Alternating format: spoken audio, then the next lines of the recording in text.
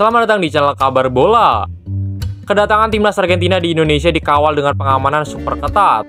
Langkah ini dilakukan demi kenyamanan rombongan tim Tengo jelang lawan timnas Indonesia di Stadion Utama Gelora Bung Karno. Berdasarkan pantauan, Sabtu 17 Juni pagi, lokasi hotel tempat timnas Argentina menginap menerapkan keamanan yang berbeda dari biasanya.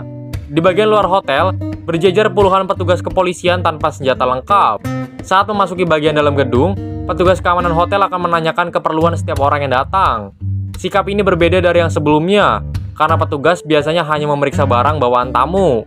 Di bagian lobi hotel, nampak penjagaan yang lebih intens. Pada bagian pintu utama, setidaknya ada belasan personel pengamanan swasta. Mereka tersebar hingga ke lift yang digunakan tamu untuk akses ke lantai atas. Kerumunan masa supporter di bagian luar dan dalam hotel juga tidak terlihat hingga menjelang siang. Ini berbeda jauh dibandingkan kunjungan timnas Argentina di Cina pekan lalu. Jika dikomparasi dengan kedatangan tim Tengo di Beijing lebih lengkap karena terdapat Lionel Messi, Angel Di Maria, dan Nicolas Otamendi.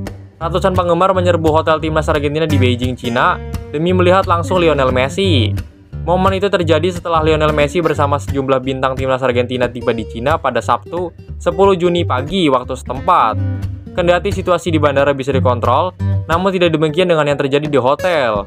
Dalam video yang beredar di media sosial, tampak ratusan orang berlarian mendekati rombongan Messi dan rekan-rekan. Desak-desakan pun tak terhindarkan dan bahkan disebut membuat tanyaman pemain-pemain timnas Argentina saat berada di Cina.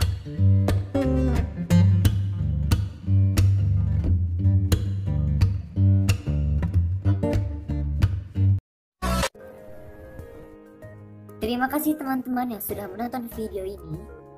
Jangan lupa klik tombol subscribe dan jika kalian suka video ini, angkat jempol kalian and see you.